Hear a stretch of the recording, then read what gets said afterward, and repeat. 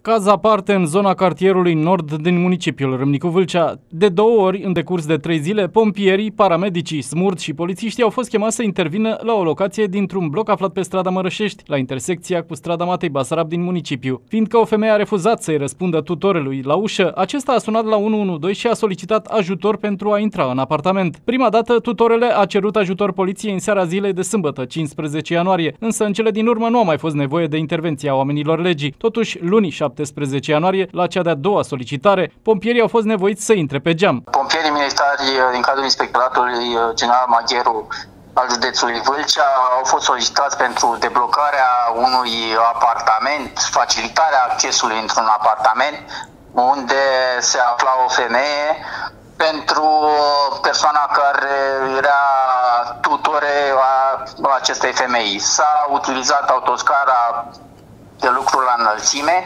s-a pătruns în apartamentul respectiv, deblocându-se un și a făcându-se accesul către aceasta pe ușa de la intrare. Femeia a fost transportată la spital pentru a fi supusă unor investigații psihologice.